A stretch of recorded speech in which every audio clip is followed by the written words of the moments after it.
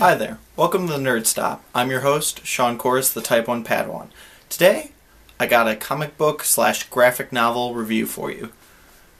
The graphic novel is Chew, the Omnivore Edition, Volume 1. It's by John Layman, illustrated by Rob Gilgory, um, Guillory. Sorry if I pronounce your name wrong. Always do that. So, basically, Is a pretty well-known comic book. I've just gotten into it. Um, this is the Omnivore edition. Little library marker because I got from the library. Um, what this edition is made of is two graphic novels. Um, the first one being Taster's Choice. It was the first debut, um, best-selling New York Times uh, graphic novel, and the other graphic novel, um, the follow-up to Taster's Choice, which is International Flavor. Um, and I really enjoyed it. This is like I said, it's just two graphic novels in one, and they made it into like a hardback binding edition, um, and just renamed it the Omnivore edition.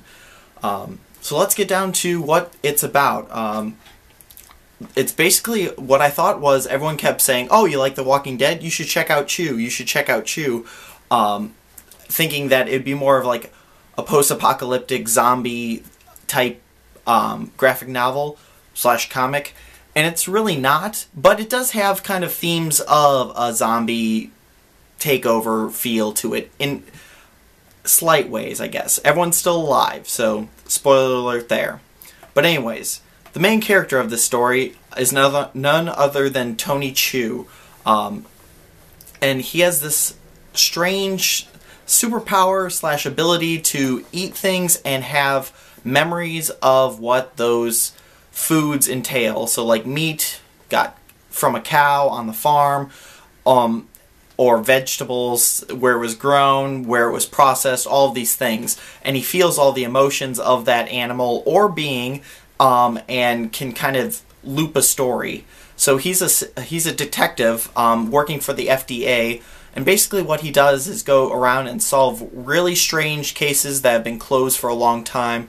Um, and it leads them into some really crazy events, some really crazy storylines that I mean I would get into, but I don't want to I don't want to ruin the story for you. Um, still kind of follows a timeline of things and trying to figure out different different events within the book, but um, overall it was really good. Um, very quirky characters. Um, he gets a couple like detective sidekicks, um, partners, things like that, and they all have their own little quirks and abilities about them. Um, I don't want to go into do, deep deep detail, like I said, but um, they were funny at times. They were amusing at times, and kind of just very strange at others. So um, I really enjoyed it, and I, am gonna pick up some of the graphic novels. I'll probably pick up the first two that make up this book, but I, I know there's more, and I definitely want to keep reading up the story because it it was really good. And I'll just show you a couple of the graphics um, in the back of the book. So like I said, um, the storyline's really good. Um,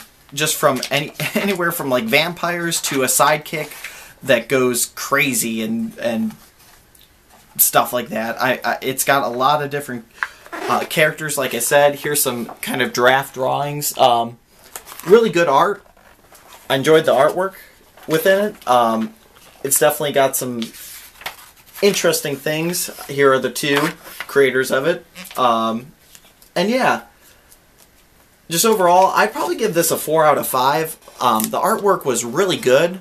Um, in general, I, I liked the storyline. It flowed really well. Um, the storyline was entertaining as well. So um, it's like I said, it's not like The Walking Dead, but it's it's a good story with kind of a mixture of like a laugh, like a saga type deal where there's like some crude humor stuff like that, but also funny, wacky things. Um, that really just make the book entertaining. Also, um, wants you to keep reading and dive into more. So, that is my review of Chew, the Omnivore Edition, Volume 1. Um, please let me know what you think about um, Chew in general, um, what you think about the review, and anything else you want to talk about. I'd love to connect with you. Definitely have a lot more reviews coming up. Um, I have a few books that I've read and I just need to get through making the videos on them and things like that, but I will keep tuned to it. And if you have any suggestions for me to do, to do graphic novels or comic reviews, let me know. I will definitely do them. So until next time, I'm Sean, and I will see you all later.